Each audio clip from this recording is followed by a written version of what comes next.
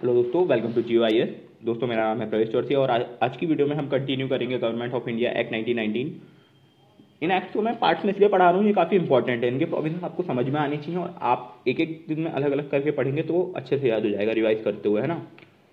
वरना आप पूरी चीज़ों को मैक्सअप कर लेंगे फिर आपको याद नहीं होगा और कोई मतलब नहीं निकलेगा है ना?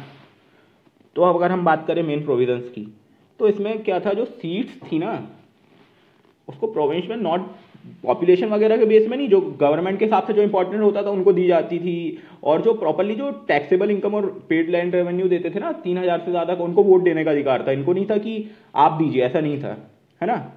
समझ रहे ऐसा हर किसी को वोट देने का वो नहीं था राइट जो और इसके साथ साथ क्या किया गया था? इसमें एक और मेन प्रोविज़न की बात की जाए तो इसमें सेपरेट कर दिया गया था सेंट्रल बजट को प्रोविंशियल बजट से। मतलब पहले बजट एक ही होता था, लेकिन अब उसको सेंट्रल लेवल पे अलग बजट बनेगा प्रोविंशियल लेवल पे अलग बजट बनेगा। जैसे प्रोविंशियल लेजिस्लेचर और उसका अपना बजट बनाती थी।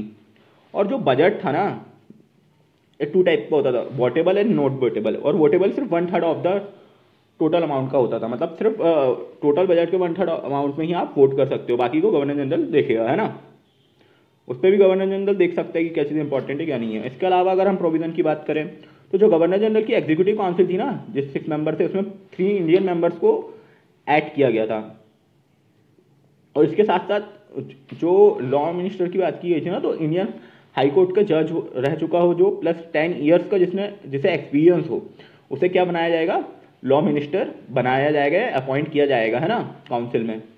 ऐसा कहा गया था।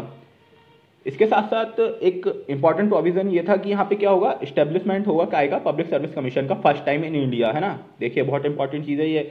Establishment of public service commission in India in first time very very important ठीक है? इसके अलावा क्या होगा? जो सेक्रेटरी ऑफ़ स्टेट है ना, इसकी सैलरी अब क्या होगी?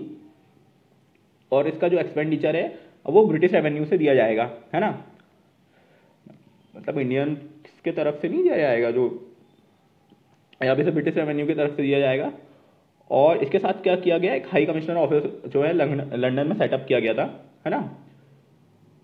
जो, और जो सेक्रेटरी ऑफ़ स्टेट के कुछ सब्जेक्ट से जो कुछ पावर्स थे, वो वो काम किसे दे दिया गया था? ट्रांसफ़र कर दिया गया था हाई कमिश्नर ऑफिसर है ना? उसे ऑफ़िस में। तो इस तरह से चीज़ें वर्क कर दी थी। इसके अलावा भी बहुत सी चीज़ें हुई। इसको सबसे बेटर है, आप लिख लिख के याद करिएगा, तभी याद हो पाएगा ये तो। अब थर्टीन नंबर का एक्ट है।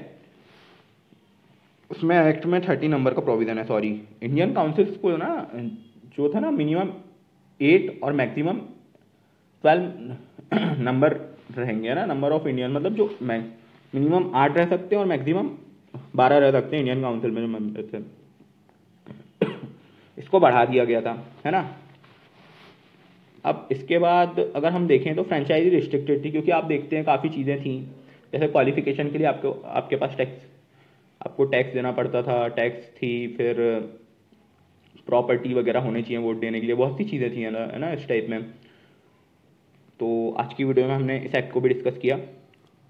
थैंक यू सो मच अगर वीडियो अच्छी लगी हो तो लाइक कीजिए शेयर कीजिए, चैनल को सब्सक्राइब